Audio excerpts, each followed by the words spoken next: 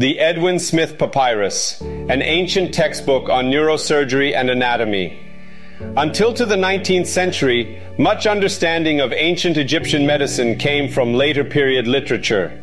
Herodotus, a Greek historian who visited Egypt in 440 BC, detailed their medicinal procedures. Numerous notable individuals in Greek medicine, including Hippocrates, Herophilos, Erasistratus, and Galen, studied at the Amenhotep temple and acknowledged the effect of Egyptian medicine on their field.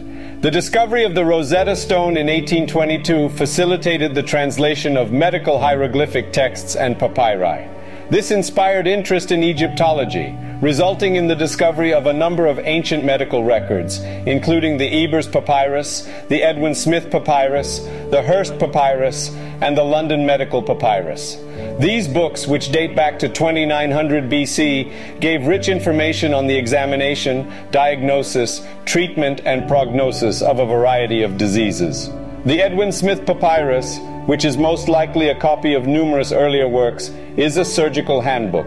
It includes anatomical studies as well as treatments created from animal, vegetable, or mineral materials.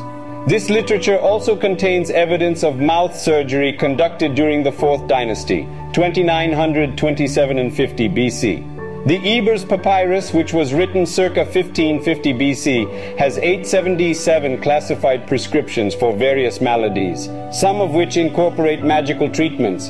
It also includes tumor paperwork and removal procedures. The Kahun Gynecological Papyrus, which dates back to 1800 BC, is the world's oldest surviving medical book. It describes the diagnosis and treatment of women's ailments, including infertility issues. Images on tomb walls and the translation of accompanying inscriptions provide additional insight into ancient Egyptian medicine. Contemporary medical technology such as X-rays, CAT scans, electron microscopes, mass spectrometry, and forensic procedures also contributed to ancient Egypt's understanding of health. My dear patients and followers, contact us now to start your neurosurgical treatment journey in Turkey. Don't forget to follow us on social media to hear about the news on neurosurgery, about Dr. Özgür Akşan Health Turkey for a healthy future.